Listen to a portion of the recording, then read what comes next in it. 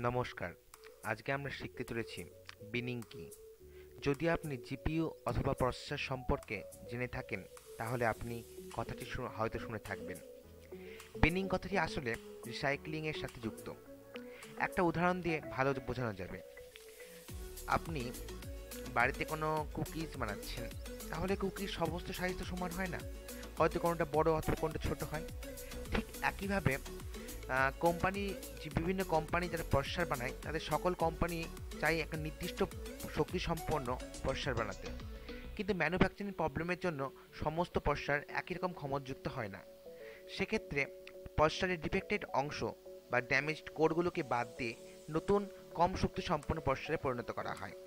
উদাহরণ দিয়ে বলা যায়, ধরুন স্ন্যাপড্রাগন কোম্পানি অর্থাৎ কোয়ালকাম কোম্পানি স্ন্যাপড্রাগন আটশো পঁয়ত্রিশ প্রসেসর বানাচ্ছে। যেটি দশটি কোরযুক্ত কিন্তু কোনো কারণে দশটি কোরের মধ্যে দুটি কোর হয়তো ড্যামেজড হলো। তাহলে ড্যামেজড কোরগুলোকে ওরা ডিসেবল করে দিয়ে একটি কম পাওয়ারযুক্ত আটটি কোর সম্পন্ন স্ন্যাপড্রাগন ছশো পঁচিশ প্রসেসরে পরিণত করতে পারে।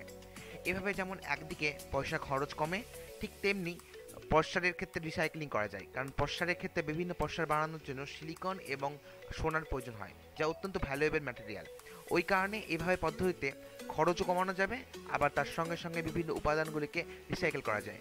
এবং এতে ইলেকট্রনিক যে বজ্র অর্থাৎ ইলেকট্রনিক ওয়েস্ট তার পরিবর্তনও করা সম্ভব হয়। ঠিক একইভাবে জিপিইউর ক্ষেত্রে আমরা এটা ব্যবহার করে থাকি।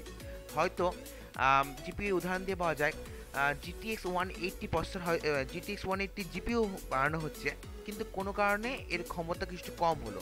সেক্ষেত্রে সমস্ত জিপিইউটাকে বাদ না দিয়ে কিছুটা অংশকে ডিসেবল করে দেওয়া হয় এবং তার পরিবর্তে কম পাওয়ার সম্পন্ন জিটিএস ওয়ান সিক্সটি প্রসেসর পরিণত করা যায়।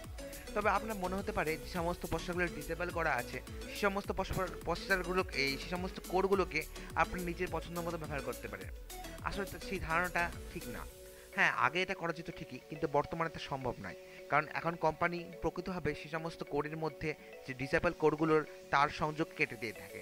যার কারণে আপনি পরবর্তীকালে তাকে আপগ্রেড করতে পারবেন না। এই এক্ষেত্রে সবসময়তেই সবচেয়ে কমা প্রসারগুলো সবচেয়ে বেশি ডিফেক্ট হয়, যেগুলো বিনিংয়ের মাধ্যমে নিম্ন প্রসারে পরিণত করা যায় এবং যে সমস্ত প্রসারগুলোতে কোনো রকম ডিফেক্ট থাকে না, সেগুলো উচ্চ প্রসারে পরিণত করা যায়। সেক্ষেত্রে আই সেভেন বা আই নাইন প্রসেসর আই সিরিজের ইন্টেলের প্রসেসর যেগুলো সেগুলো সবচেয়ে বেশি দক্ষতা সম্পন্ন হয় যেখানে কোনো রকম ডিফেক্ট থাকে না, যেগুলো সেই কারণে ওভার ক্লকিং এবং সুপার ক্লকিং সম্পন্ন হয়ে থাকে। আর যেগুলোকে আই সেভেন প্রসেসরকে হয়তো ডিফেক্ট হওয়ার কারণে কমিয়ে আই থ্রি প্রসেসরে পরিণত করা যায়, যেগুলো সুপার ক্লকিং ক্ষমতা থাকে না। এভাবে, এই উচ্চতর প্রসেসর থেকে কম সম্পূর্ণ প্রসেসর তৈরি করা যায়। আশা করি আপনার ভালো লেগেছে। ভালো লাগলে লাইক শেয়ার করবেন।